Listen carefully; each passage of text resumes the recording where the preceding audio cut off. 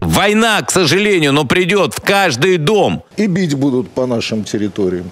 Дальними ракетами будут бить. Уже, уже это понятно. Путин даст заднюю. Врать себе надо прекратить уже. Сейчас Украина активно работает над тем, чтобы США наконец-то позволили бить вглубь территории РФ. Наши власти уже передали американцам список целей в России, которые будут атаковать в случае такого согласия. Мы объяснили, какие средства нам нужны для защиты граждан от российского террора, который россияне совершают. Поэтому я надеюсь, что они нас услышали, сказал министр обороны Украины Рустем Умеров. Не знаю, как Штаты, но пропагандисты точно услышали и уже все встревожились. Министр обороны Украины Умеров таки представил Пентагону для согласования список реальных целей на территории нашей страны. Причем в Киеве просят разрешить наносить удары не только со своей территории, но и с оккупированной части Курской области. Аккурат во время визита украинцев в Вашингтон Wall Street Journal выходит статья вот с таким заголовком. Смотрите. Ядерное оружие всегда останавливало вторжение, но Украина показала, что это не так. Ну, о ядерном оружии и новых угрозах от РФ еще поговорим. А вот что касается списка целей, то россияне действительно обеспокоены. Некоторые из них рассказывают, что Украине уже дали такое разрешение, а некоторые даже знают, куда скоро прилетит. Задача вот этого удара дронами была а, обновление карты размещения наших систем ПВО. они а, проверяют, где да, у нас что А стоит. основные удары пойдут немножко позже, в том числе с использованием новых дронов.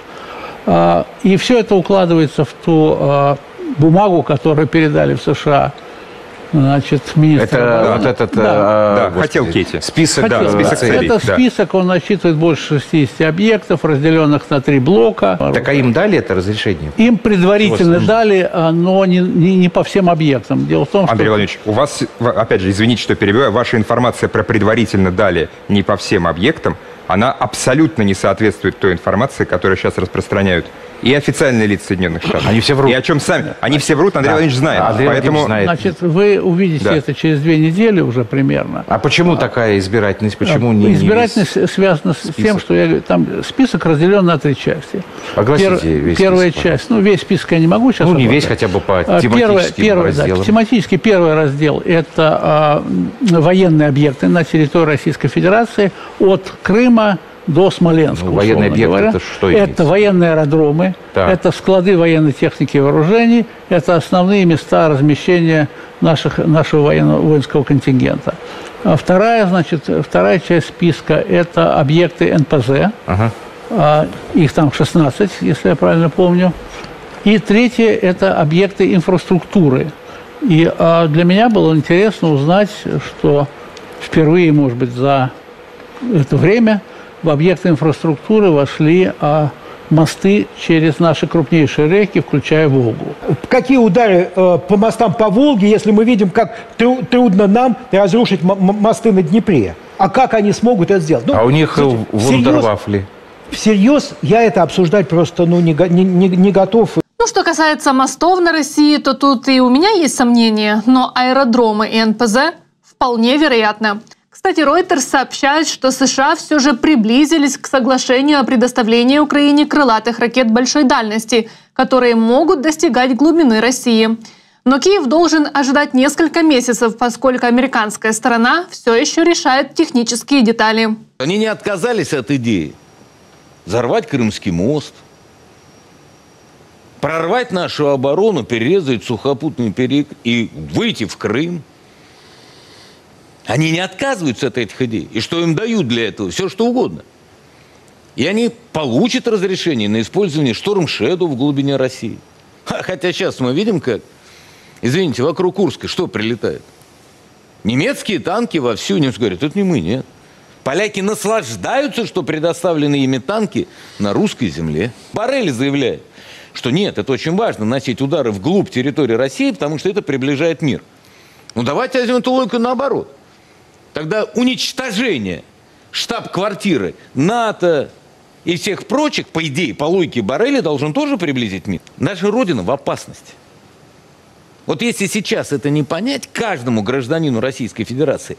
Интересно, а почему же эта ваша родина вдруг стала в опасности? Возможно, потому что ваш психически больной президент решил напасть на чужую страну? На страну, которая не сдается, на страну, которая защищается. По данным Reuters, действительно ожидается, что осенью ракеты класса «Воздух-поверхность» «Джасом» внесут в новые пакеты военной помощи Украине. Эти ракеты могут кардинально изменить стратегическую ситуацию на фронте – ведь они способны поражать цели на больших расстояниях, охватывая значительную часть России. Как говорит Скобеева, достанет и до Москвы. США заговорили о передаче дальнобойных крылатых ракет JASSM для применения истребителями F-16. Просто для понимания. Модернизированная версия этой ракеты способна поражать цели на дальность до 1000 километров, то есть способна бить по Москве. Политико пишет, что Байден открыт к передаче этих дальнобойных ракет. Пентагон уже работает над решением, которое позволит Украине запускать ракеты с ее истребителей. Понятно, что момента передачи может произойти не прямо сейчас, но опыт нам демонстрирует все, что обсуждается в США, в итоге оказывается у ВСУ. Вот только представьте, насколько это оружие облегчит нам с вами жизнь. Пока же действуем своими способами. Вот я читаю утренние сводки. Вы меня, конечно, извините, меня охватывает бешенство. Мы это сейчас кому рассказываем? Отбита атака беспилотников. В результате падения обломков и дальше пошло. Сгорело то, сгорело все, загорелось... Это что, отбитая атака беспилотников? Может, хватит уже дурить? Врать себе надо прекратить уже. Прекратить себе врать. Ты, Соловьев, тоже прекратил бы уже наконец-то врать. Кстати, еще один пропагандист, Шахназаров, уже прямо обвиняет российское руководство во лжи. В коридорах власти присутствует, мне кажется, некое такое ощущение все-таки, что как бы сохранить вот эту иллюзию такой мирной, спокойной жизни, которая... И как, как-нибудь это все обойдется, и какое-нибудь будет перемирие, и, так сказать, не надо беспокоить. Ну, можно там вот YouTube затормозить, да. Опять тоже какая-то непринципиальность. Ну уж тогда закройте. Тогда уж скажите, все закрываем. Нет, не закрываем. Просто тормозим. Не, неизвестно кто вроде. Вроде какие-то там эти, так сказать, эльфы. Они, они этим занимаются, вроде это. Э, хотя при этом все все равно все знают и читают, потому что для, для этого кому надо и так прочитает украинскую эту пропаганду и все такое. Но я имею в виду вот такое ощущение, что вот какие-то вот вещи все время не договаривают, замалчивают, не, не ставят. Э, что-то у пропагандистов вообще морды скисли. Да и на их ток-шоу постоянные фестивали биполярки – Ибо сначала истерические призывы к ударам по Европе и США, а теперь такие же истерические, но крики о собственном бессилии. Ситуация действительно опасна. Они, э, они не остановят войну. Она им выгодна. И бить будут по нашим территориям. Дальними ракетами будут бить. Уже, уже это понятно. И Зеленский не пойдет ни на какие перемирия. Ни на какие переговоры, если кто-то думает, что вот будет какая-то ситуация, что он пойдет. Нет, не пойдет он. Ни при каких условиях. И Запад не пойдет. А зачем и Западу это надо? Ну, надо искать. Я бы на их месте тоже не пошел. Я, кстати, если в логике западной мировоззрения но они действуют э, очень правильно. О чем мы все время их осуждаем в этом смысле? Ну, мы, конечно, должны осуждать, но я имею в виду, ну, понятно, вы попали, ребята. Вот они говорят. Вы влипли? Вы влипли, и мы будем делать, пока мы вас не добьем. Да, мы действуем правильно, потому что с моральной и юридической точки зрения Украина имеет полное право перенести боевые действия на территорию России.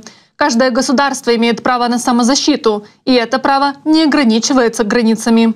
Они сейчас все доступные ресурсы будут использовать для того, чтобы свои цели достичь. Ну почему они цели? тогда Каковы делают их цели? это медленнее смена, и в меньших Смена объемах? власти в России. Хорошо. Почему смена они власти, тогда делают ее это максимальное медленнее? ослабление. Это маниловщина какая-то. Говори, Смена почему они делают это медленнее, деньги выделяются в меньших объемах, если вот-вот эта цель, как бы, она становится все ближе и ближе. Надо же тогда давить. Послушайте, мы слышим о том, что они медленнее, что они хуже, что они устали все последние годы. Я могу перечислить каждого, кто здесь сидит, кто это говорил, кроме меня, кстати. Каждый говорил, и вы говорили, и А. вы, Иван Сергеевич, Так это говорили. правда. Все время. Нет, это неправда, к Так. сожалению, они Вопрос. продолжают. Они всерьез думают, и здесь они абсолютно правы, что если они уступят Украину, и если, так сказать, сбудется то, что называется целями э, специальной операции, то следующей угрозой окажутся страны, уже непосредственно входящие в НАТО. А устроить Что значит какую-нибудь они правы? Мы, мы будем э, с ними да, воевать? типа э, руки прочь от русских школ. Да, это элементарно. Им Ну, Путин кстати, уже объяснял. мы Там с последнее это было с главным редактором, что с ума стучал Спасибо по столу. за цитату. Вы с ума сошли? Мы что, хотим с У- НАТО Путин воевать? Ну, неоднократно ну, русским заявлял языком о том, прямо что всем проговаривалось. Вторжения в Украину не будет. Неоднократно заявлял. А у нас И происходило А у, нас, это. а у нас не было вторжений на Украину, Александр Николаевич. А вот войск 24 Путин говорил, что мы оккупировать не Ну, будем. и мы не Давайте мы будем соблюдать юридический статус. Мы признали ДНР и ЛНР, и после этого стали им помогать. Так, а вы дадите гарантию, лично вы, дадите гарантию серьезную, да, Я? Что следующим этапом не признают еще что-нибудь? Очень хороший. Обязательно Это признаю. зависит от воли людей, проживающих на каких-то Очень хороший Это зависит от воли одного единственного человека, который является президентом Российской Федерации Вот и принимает все политические Без воли людей Я, это не я работает. очень сильно сомневаюсь, что будет принято решение там, о признании какой-нибудь Рижской Народной Республики. Ого, боюсь, что этого эксперта больше не пригласят на эфиры НТВ. Взял и всю правду выдал, что Путин начал войну, потому что ему так захотелось. Они надеются на то, что, выражаясь крайне неудачным языком Симонян, Путин даст заднюю. Вот вы прицепились Да, к этой Я фразе, не могу. Маргарита Симоновна. это- Ну, я любитель русского языка. и- меня иногда складывается складывается впечатление, что те, кто ру- руководят Украиной, как будто они вообще э, инопланетяне какие-то, либо иностранцы. Ну, собственно говоря, э, не, не- не думают просто. Нет, я серьезно говорю, вы понимаете, ну такие потери колоссальные. Интересно, а кто же тогда руководит Россией? Ибо что-то их правитель непостоянен в своих действиях и словах. К примеру, он снова передумал о возможных переговорах с Украиной и теперь, оказывается, готов договариваться с Киевом. Повторяю еще раз, если э, действительно возникнет такое желание вести переговоры, мы не отказывали. Не отказывались? А это тогда что было? Судя по всему, противник стремится к улучшению своих переговорных позиций в будущем.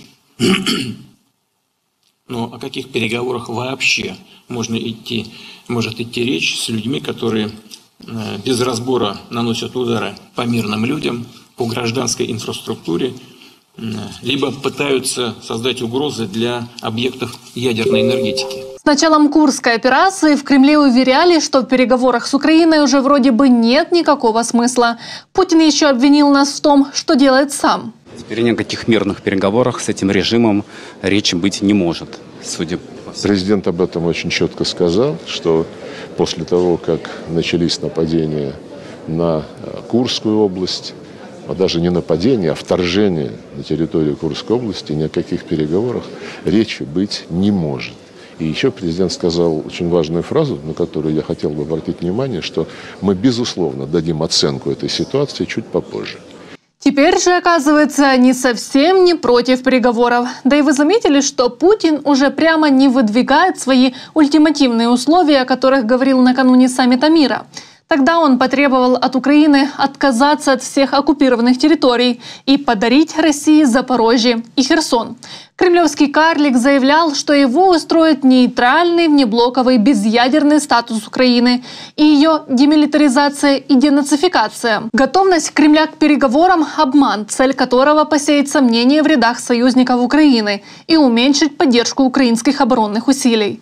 На самом деле, ничто не указывает на реальную готовность России остановиться. Кремль каждый раз начинает разговоры о переговорах, когда испытывает трудности на поле боя.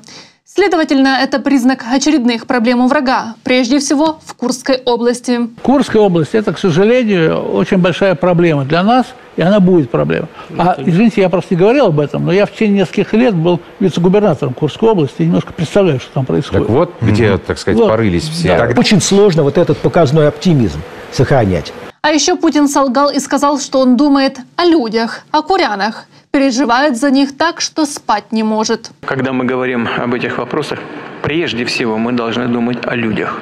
которые, безусловно, э, проходят через э, серьезные испытания и страдают от этих террористических актов. Они нас просто кинули. Они нас бросили. В итоге обман и ложь. По бумагам, по телевидению, по прессе война уже закончилась. Но война идет, месяц войны, месяц. Люди остались без крова, без жилья. Да, какую-то помощь гуманитарную изначально там Курске по районам выдавали. Сейчас прекратили выдавать раз в полмесяца, раз в месяц, а как прожить? Банка тушенки, консервы, килограмм э, какой-то крупы или что-то, масло банка э, пол-литровая. Ну и как прожить? Литровая баночка маслицы. Как прожить людям? Вот так на самом деле Путин думает о своих людях. Ему на них плевать. Он и дальше будет продолжать рассказывать, что вторжения никакого нет. Это провокация, что это не украинская регулярная армия, а какие-то ДРГ или, как он говорит, бандиты. Но при этом не скажет, что те бандиты уже контролируют более 1300 квадратных километров территории России. Но сейчас этот весь этот пиар-эффект уже подсдулся. Нет, но не то... Результат, результатов там Максим не видно. Анатольевич, мы, не мы довольно успешно поставляем оттуда уничтоженные хаймерсы и видео, поэтому... Ну, а, на самом деле, на самом деле это не провокация. На территории Курской области ничего не изменилось. На самом деле это не провокация, к сожалению, а полномасштабная операция с их стороны. Называть операцию в Курской области провокацией, это смешно. Когда, а я не называю. Когда две, а у нас есть люди, Скажите, которые называют провокацией. Определение провокации может дать слово? Провокация – это когда э, на заборе Цель Останкина вместо трех букв НТВ пишут другое слово из трех букв. Это провокация. Нет, провокация. Теперь это, я наконец а, знаю, кто это, это делает. Это Андрей Владимирович. А, потому что я извините, ни разу вторжение это, кадров. Это, так, это классическая провокация. Андрей Владимирович продолжает разгонять нам тот же самый нарратив, который он нам разгонял на прошлой неделе. Все, про все пропало. Сдаемся, Андрей Владимирович. Конечно. Вы идеально все делаете, но извините, повторяетесь. Андрей так, давайте, давайте мы на фактуре дальше пойдем. Так, Путин почувствует и признает войну только если ракеты полетят по Москве. Но для этого нам нужно разрешение. Британцы, например, предлагают тому же Шольцу, чтобы тот предоставил от имени Германии крылатые ракеты «Таурус» для вооруженных сил Великобритании. И в этом случае Лондон весь имеющийся парк своих крылатых ракет «Шторм Shadow передаст Украине вместе с инструкторами и военными, которые будут помогать программировать и использовать. Это реальная угроза.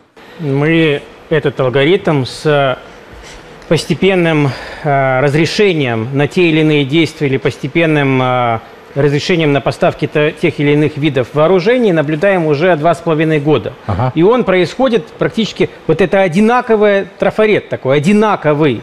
Сначала Украина что-то запрашивает, а европейцы отвечают нет, или наверное нет, или возможно нет, или не сейчас, или может быть позже, американцы также отвечают, а потом эта позиция меняется на ну давайте посмотрим, мы подумаем, обсудим, решим, а потом меняется на нет, мы все-таки поставим, а потом меняется на все, уже поставили. Очень хочется, чтобы так было и на этот раз. Это будет справедливо. Потому что россиянам никто не завязывает руки. Они бьют вглубь Украины, в тыл нашей страны и бьют по гражданским. Нам же дальнобойные ракеты нужны для военных целей.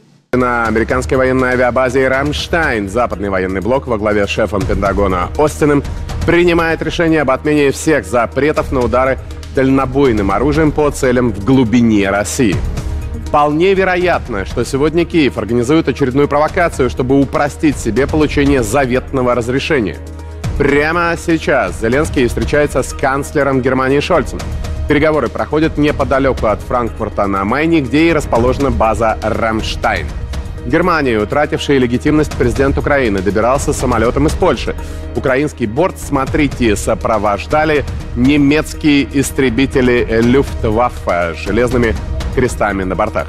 Публично Соединенные Штаты будут все отрицать и говорить, что нет-нет, мы никаких разрешений не давали, и мы еще раз повторяем, что мы остаемся на тех позициях, на которые стояли раньше. Но в кулуарах украинцам подмигнут и скажут, ну, вы там не сильно, но действуйте точечно, и желательно, чтобы не очень было понятно, чем вы бьете. Потому что беспилотниками вы и так отправляете по тем базам, которые э, я, пытаетесь я, наши достать. Я, я думаю, Бейте и ракеты, просто чтобы русские, ну, были у них сомнения? Нет, я думаю, что все-таки до выборов этого даже в такого варианта не будет. Я боюсь другого варианта. Мы э, на вчера-позавчера слышали новости о том, что у них какая-то там ракета-дрон новая, якобы там Да. супер вундервафли. Отсутствующий Федоров ее очень э, хвалил. но- новая, значит, ну, конечно, естественно. Значит, э, новая какая-то баллистическая ракета, которая испытание. Я боюсь чего? Что они пойдут по другим путем. Это как если бы, например, у каких-нибудь хуситов э, после сотрудничества с Ираном появилась ракета, которая как бы у них появиться не могла. Ну, То есть, строго говоря, сначала СВО было достаточно времени, чтобы американский западный ВПК помог им сделать, ну, там, скопировать Свое, или еще свое. что-то, да, чтобы таким, таким образом себя обезопасить. Итак, почему американцы не дают разрешения на э, использование ракет в глубине России? Потому что они надеются на то, что, выражаясь крайне неудачным языком Симонян, Путин даст заднюю. Вот так вы прицепились к этой Я фразе, не могу. Маргарита Симоновна. это. Ну, я любитель русского языка, и Ну, ладно. хорошо учили. Так, дальше. Вот, значит, э, Путин даст заднюю. Если бы они слушали президента на протяжении последних трех лет, то они бы понимали, что, во-первых, в этой стране, в России, решение принимает один человек.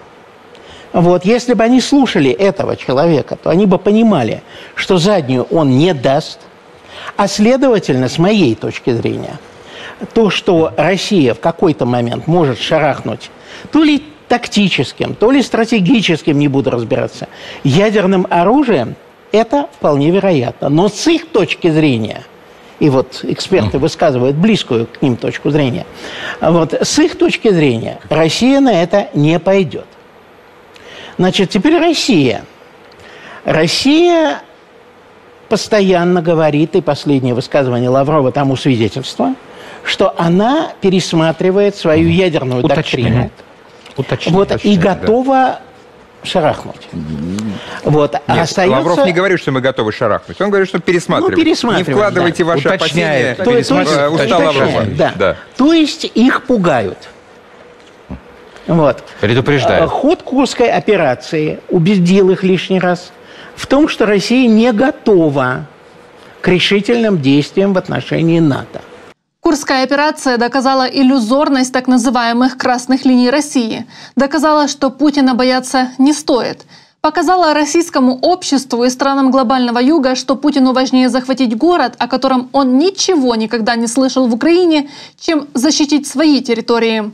Но он не собирается останавливаться. Он собирается и дальше уничтожать украинские города. Когда мы в западных СМИ читаем приятные для нас заголовки, либо материалы о том, что Украина ослабла, у нее проблемы, а, поставок нового оружия не будет, Германия не даст, Штаты не дадут разрешения на дальнобойные удары. Вот любые такие материалы мы должны изначально рассматривать как элементы стратегической дезинформации России. Совершенно верно. Не надо эйфории от плохой для Украины и для Запада информации в Какая западных эйфория, враг на нашей территории. вот я об этом и говорю. Второй важный элемент. Нам очень важно а, изменить такой, как бы я назвал, инерционный сценарий реагирования на те или иные действия ВСУ. Потому что а, в ближайшей перспективе дальние ракетные удары новейшим американским и европейским оружием по а, целям в глубине территории России.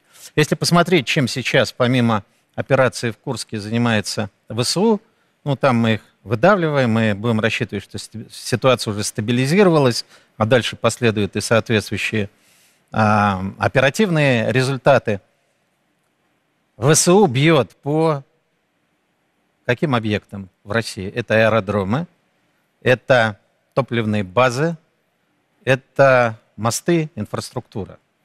В этой связи ну, совершенно очевидные задачи, которые стоят перед нами. Массированный удар по ключевым объектам инфраструктуры Украины, в первую очередь энергетический. Да, мы будем наносить удары, если не американскими, то своими украинскими ракетами и дронами, ибо на силу всегда найдется своя сила. В Москве вообще не скрывают тактику наносить новые удары после того, как украинские энергетики ценой невероятных усилий преодолевают последствия предыдущих. Так может быть настало время Вашингтону и Брюсселю доказать, что они не слабее Пхеньяна и Тегерана, которые активно помогают России ракетами.